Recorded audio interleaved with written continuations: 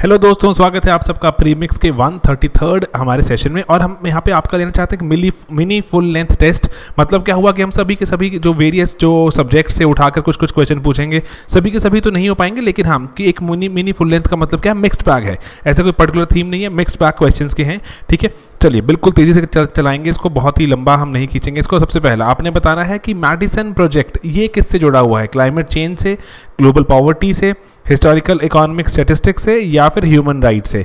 तो इसको आप क्विकली मार्क कीजिए पॉज कर सकते हैं। मैं रुकूँगा नहीं, मैं रैपिडली बोलूँगा पॉज करिए जगह जगह। एंड इसका आंसर क्या है? हिस्टोरिकल इकोनॉमिक स्टेटिस्टिक्स अगर आपने इको सर्वे ढंग से पढ़ा है तो आपको पता होगा कि एंगस मेडिसन ने शुरू किया था इस प्रोजेक्ट को। एंड बहुत ही रैपिडली ये इसको, इसके बाद जब उनकी डेथ के बाद बहुत लोगों ने इसको उठा लिया। एंड अब ये हिस्टोरिकल इकोनॉमिक डेटा इकट्ठा कर रहे हैं कि कब कब, कौन सी कौन सी सदी में क्या क्या इकोनॉमी के बारे में बात हुई थी। दूसरा इनकम टैक्स इंडिया में कौन लेवी करता है? कौन लगाता है इनकम टैक्स यूनियन स्टेट दोनों या कोई भी नहीं? चलो, एक ऑप्शन एलिमिनेट हो गई है डी नन कोई तो लगाता है, ठीक है? तो अब इसका आंसर अब यहाँ मार्क कीजिए एंड यहाँ करेक्ट आंसर इज़ यूनियन ठीक है? यूनियन लगाता है आपको पता है, जो कॉन्स्टिट्यूशन ने शेड्यूल सेवन में लिस्ट जारी की है, उसमें जो, क्या लिखा गया? सेंट्रल गवर्नमेंट लगाएगी जो income tax apart from any all the income tax apart from agricultural income ठीक है? इनकम सभी हो सकती है एग्रीकल्चर इनकम नहीं, उसके सिवा और भी बहुत सारी यहाँ पे रेगुलेशन हैं जिसके तहत हमारे इनकम टैक्स जिससे गवर्न रहता है। ओके लेकिन लगाएगा कौन? यूनियन नेक्स्ट थर्ड क्वेश्चन आपने बताना है कौन सी कौन सी स्टेटमेंट करेक्ट है। पहला, जो सेवेंटी थर्ड अमेंडमेंट थी कॉन्स्टिट्यूशन की, इसने रिकग्नाइज किया urban local government as institution of self government and दूसरा, ये प्रोविज़न एक्सटेंड कर दी गई अदर सिमिलर एरियाज़ में थ्रू पैसा एक्ट ठीक है तो आपने बताना है कौन सी कौन सी यहाँ पर स्टेटमेंट्स करेक्ट हैं। एंड यहाँ पॉज कीजिए, बिल्कुल सीधा साधा सवाल है पॉलिटी का आपको आना चाहिए। एंड इसका correct answer is none of these क्योंकि जो सेवेंटी थर्ड अमेंडमेंट ये अर्बन के लिए नहीं थी, ये पंचायती के लिए थी। अर्बन के लिए कौन सी है हमारी? सेवेंटी फोर्थ अमेंडमेंट है। एंड सिमिलर सिमिलर एरियाज़ वाली नहीं अर्बन को लेके पैसा पैसा सिमिलर नहीं है। पैसा एक्सटेंड्स ओनली टू पंचायत ठीक है? अर्बन पे अप्लाई नहीं होता पैसा। ये बात ध्यान रखनी है आपने। तो यही बात हमने यहाँ पे समझाई है आपको। ओके नेक्स्ट क्वेश्चन करते हैं बहुत ही जल्दी से। आपने बताना है कि अगर इकोनॉमिकली देखा जाए तो पब्लिक गुड इसमें से कौन सा कौन सा है? Which of the following is are a public good national security fresh air patents YouTube ठीक है, आप सब यूट्यूब देख रहे हैं अभी। तो आपने बताना है कौन से कौन सा इसमें से पब्लिक गुड है? ठीक है ऑप्शन आपके सामने यहाँ लगी हुई हैं। इतमान से सोचिए एंड आंसर मार्क कीजिए। एंड इसका correct answer is one two and four patents नहीं है। पब्लिक गुड होता क्या है? पब्लिक गुड ऐसी चीज़ है, अगर कोई एक इंसान यूज़ करे जनरली दूसरे के लिए कम नहीं हो जाएगा वो। तो नेशनल सिक्योरिटी अगर किसी एक की सिक्योरिटी हो रही है, दूसरे के लिए कमी नहीं हो जाएगी, है ना? फ्रेश एयर जनरली एंड लेकिन यूट्यूब भी आप देख रहे हो तो ऐसा नहीं किसी और के लिए वो वीडियो बंद हो जाएगा। तो अब पेटेंट्स ऐसा नहीं है। पेटेंट्स अगर किसी एक ने लाइसेंस लिया हुआ तो वही यूज़ कर सकता है। बाकी और लोग लाइसेंस लेकर उसको यूज़ नहीं कर सकते। तो हमने यही आपको समझाया कि पब्लिक गुड्स को रिस्ट्रिक्ट किया जा सकता है। ठीक है? तब वो क्लब गुड्स या प्राइवेट गुड्स बन जाएँगे। एंड पब्लिक गुड का यहाँ पे डेफिनेशन भी बताइए कि अगर एक उसको यूज़ करे तो जनरली किसी दूसरे के लिए कम ना पड़ जाए वो। ठीक है? जैसे टेलीविज़न यूट्यूब जो आपकी हवा, पानी नेशनल डिफेंस तो अगर एक्सक्लूजन मैकेनिज्म भी कुछ एग्जिस्ट करते हैं, जैसे कॉपीराइट पेटेंट्स वगैरह एंड उसके सिवा इवन की जो पे टेलीविज़न जो नेटफ्लिक्स जिसने पे किया, सिर्फ़ वही देख पाएगा। तो ऐसे ही जो कुछ चीज़ें हैं जो पब्लिक गुड को प्राइवेट गुड बना देती हैं। अच्छा low equilibrium trap eco survey में पूरा चैप्टर डिवोट किया गया है। आपने हमें बताना है कि लो इक्विलिब्रियम ट्रैप का क्या मीनिंग है। यहाँ पे पॉज कीजिएगा, मैं बहुत जल्दी जल्दी आपको ऑप्शन दिखा रहा हूँ। यहाँ पॉज कीजिए, यहीं पर ही। एंड इसको ऑप्शन को रीड कीजिए, क्योंकि ऑप्शन में ही फाइन डिफरेंसेस हैं, वही आपको समझ आना चाहिए। ठीक है पॉज कीजिए अभी। एंड इसका करेक्ट आंसर इज़ जो लो इक्विलिब्रियम ट्रैप का मतलब क्या हुआ? एक ऐसी एक अनविलिंगनेस की चाहते ही नहीं सेंटर और स्टेट दोनों ही, चाहते ही नहीं जो हायर टीयर्स हैं जो, वो चाहते ही नहीं अनविलिंग है वो कि अपने सिटीजन्स पे टैक्स लगाया जाए। क्योंकि टैक्स लगाते हैं तो रिस्पॉन्सिबिलिटी बढ़ती है तो सिटीजन्स डिमांड करते हैं सर्विसेज़ नहीं मिली तो इसीलिए वो आउटसाइड सोर्स रिसोर्सेज पर ही डिपेंड करते रहते हैं। एंड एक तरह से उन्होंने इक्विलिब्रियम बना लिया है। और वो इक्विलिब्रियम काफ़ी लो है, जो टैक्स वगैरह के अटेन करने का। ये किसकी बात करता है? ये ये स्टेटस कुओ की बात करता है कि ऐसा एक स्टेटस कुओ जहाँ पर दोनों, हमने इको सर्वे में डिस्कस भी किया था, वैसे जाके दोबारा देख सकते हैं आप वीडियो कि जो चाहते ही नहीं अपने सिटीजन्स को टैक्स करना ताकि वो हमसे जवाबदेही ना लें, ठीक है? एंड अकॉर्डिंगली इसीलिए बाहर से बाहर से कहीं से भी रिसोर्स इकट्ठे करते रहें ताकि सिटीजन्स को सर्विसेज़ जो जितनी देनी अपनी मर्ज़ी से सिटीजन्स को सर्विस दे सरकार, ठीक है? ओके तो वो कह रहे हैं कि ये एक लो इक्विलिब्रियम स्टैब्लिश हो गया है एंड इसका एक और रीजन पॉपुलिज्म भी लिखा हुआ है वैसे पॉपुलिज्म भी हो सकता है और कहते हैं ये ट्रैप है ट्रैप फंस गए हो आप इसमें आउटसाइड आउटसाइड रिसोर्सेज पर डिपेंडेंसी आ जाएगी हमेशा के लिए। ओके एक और क्वेश्चन देखते हैं फटाफट से। आपने बताना है कि animal welfare board of India India यह बुक में मैंशन है, इसमें थोड़ी सी खास बात है, इसलिए पूछ रहे हैं। तो ये क्या ये ministry of environment forest and climate change के तहत आता है? एक स्टेचुटरी एडवाइजरी बॉडी है, ध्यान दीजिएगा, ठीक है? एंड उसके बाद इसका हेडक्वार्टर कहाँ पर है? बल्लभगढ़, हरियाणा।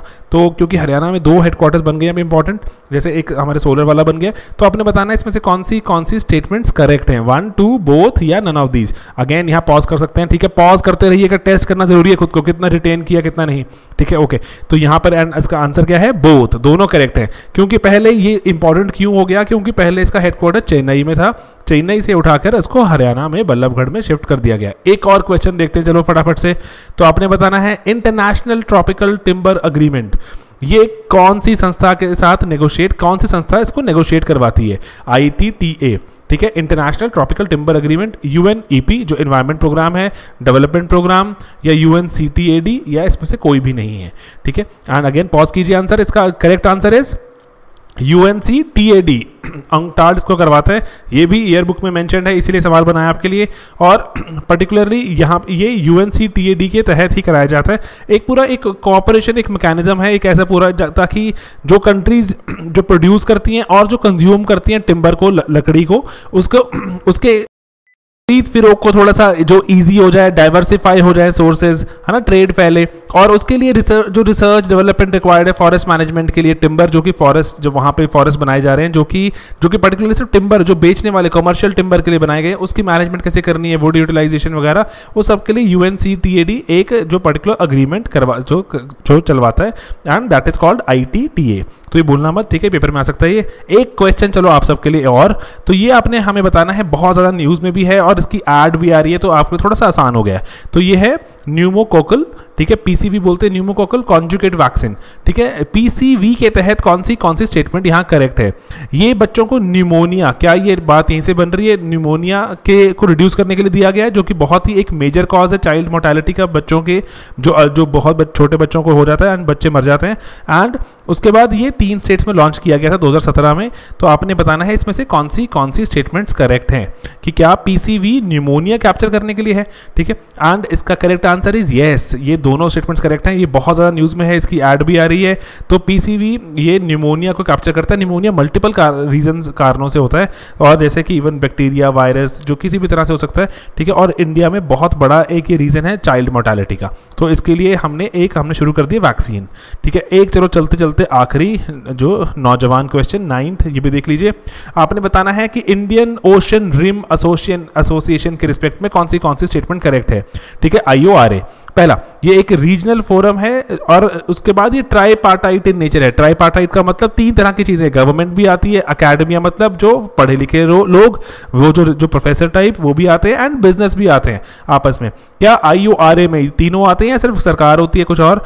एंड जो पहली आई समिट इंडोनेशिया में हुई कब? 2017 क्या ये बात सही है? ठीक है, आपने बताना है कौन सी कौन सी स्टेटमेंट्स यहाँ पर अगेन करेक्ट हैं। ठीक है, यहाँ पॉज कीजिए अगेन ठीक है, ऐसे सवाल, बिल्कुल करंट अफेयर्स टाइप वाले। Answer is both are correct ठीक है, दोनों ही करेक्ट हैं। और ये देखो, पहले जो आई ओ आर ए था, इसके पहले इसका नाम क्या था? I O R A R C prelims में क्वेश्चन आ चुका है। ठीक है, जो इंडियन ओशन जो रिम एसोसिएशन रीजनल कॉपरेशन थी, उसके बाद इसको ग्रेजुअली बढ़ा दिया गया। इसमें गवर्नमेंट बिज़नेस अकेडमिया सभी तरह के लोग आते हैं कॉपरेट करते हैं। और जो ये जो रिम जो इनिशिएटिव पहले बनाया गया था नाइनटीन में मॉरिशियस में में हेडक्वार्टर्स थे, वो बनाया गया था। ग्रेजुअली बदलते बदलते अभी क्या पहुँच गया? इंडिया ने इसको आई जो हमने जो इस्टेब्लिश करने में हेल्प करी है इंडिया ने इंगेजमेंट भी इंक्रीज कर दी इसके साथ। इसकी पहली मीटिंग हुई थी अभी कहाँ पे आई की, जो एकदम रिन्यूड जो चीज़ है इंडोनेशिया मार्च 2017 में हुई थी। ठीक है, बहुत सारी चीज़ों में वाटर रिन्यूबल वगैरह में काम करने की बात की गई है। तो आप इस पर थोड़ा ध्यान दीजिएगा। ये बहुत इंपॉर्टेंट होते हैं। जितने भी इंडियन ओशन जो रीजन की हमने डिफेंस एक्सरसाइजेज भी डिस्कस की थी, बहुत सारी, वो भी आपको याद होनी चाहिए। ठीक है दोस्तों? चलो, एक क्वेश्चन जाते जाते और देख लीजिए। एंड ये है कि आप बताइए कि एशिया पैसिफिक मिनिस्ट्रियल कॉन्फ्रेंस हुई है अभी हाउसिंग एंड अर्बन डेवलपमेंट ठीक है? APM C H U D APM C H U D करके अखबारों में था। तो आपने बताना है कि ये 2006 में इस्टेब्लिश हुआ था, ठीक है? जो APM C H U D और किसके जो गवर्नमेंट ऑफ़ इंडिया ने इस्टेब्लिश किया था under ministry of housing and poverty alleviation and UN habitat UN की बॉडी होती है यूएन हैबिटेट जो घर बनाने में हेल्प करती है। एंड उसके बाद जो ऑब्जेक्टिव क्या होता है APM C H U D का, ये इसको जो भी ऑब्जेक्टिव है वो उसको डेली डिक्लेरेशन का नाम दिया गया। क्या ये बात सही है? क्या डेली डिक्लेरेशन ए पी ने भी दी है? ठीक है कि हम क्या करेंगे? जो अडॉप्ट किया जो भी डिक्लेरेशन को एशिया एशिया पैसिफिक रीजन में हम जो जो अर्बन डेवलपमेंट और हाउसिंग वगैरह पे काम करेंगे। आपने बताना है इसमें से कौन सी कौन सी स्टेटमेंट्स करेक्ट हैं। तो ये बहुत ही सिंपल सा वैसे एक क्वेश्चन बहुत ही ट्रिवियल है, लेकिन एग्ज़ाम में ऐसे सवाल पूछे गए हैं और आप इनको यू टेन टू ओवरलुक इसीलिए सिर्फ़ नॉलेज इंपार्ट करने के लिए है, दोनों स्टेटमेंट्स करेक्ट हैं। ठीक है? तो ए अपना इंडिया ये बुक में मैंशन है, आपको पता होना चाहिए, इसीलिए इंडिया बुक से उठाया हमने। और ये डेली डिक्लेरेशन ही दी गई है कि हम अपने जो जो पर्टिकुलर जो रीजन में हमने हाउसिंग डेवलपमेंट करनी है अर्बनाइजेशन को ढंग से कराना है। और इंडिया इसका पहला चेयर मतलब पहला जो जो जो पोजीशन ऑफ़ चेयरमैनशिप है, वो इंडिया के पास ही आई है। ठीक है दोस्तों? तो अपने आप पे विश्वास करो ऑप्शंस पढ़कर भी आप बहुत सारे आंसर्स को देख सकते हो गेस कर सकते हो एंड इस पर भी ग्रेजुअली हम एक वीडियो बनाएँगे आपको बताने के लिए कैसे ऑप्शन से हम हम बहुत सारे आंसर्स निकाल सकते हैं। इसीलिए खुद पर विश्वास होना ज़रूरी है। बहुत बार आपको लगता है, नहीं नहीं, जो मैं सोच रहा हूँ वो गलत है। ठीक है, नहीं, बहुत मेजोरिटी ऑफ़ द टाइम्स आप जो सोच रहे हो, जो लॉजिक लगा रहे हो, क्योंकि आपने इतने सवाल जब अटैम्प्ट कर लिए होते हैं, आपको पता होता है क्या सही, क्या गलत। तो खुद पर विश्वास कीजिए, क्योंकि आप बहुत सारे चमत्कार कर सकते हैं कि रैंक आ सकते हैं, बहुत लोगों के रैंक आ रहे हैं, जो बहुत मेहनती लोग हैं, और अदरवाइज़ ऐसा नहीं था कि पीछे कोई चाँद सितारे तोड़े थे, कोई आई आई से थे वो नहीं।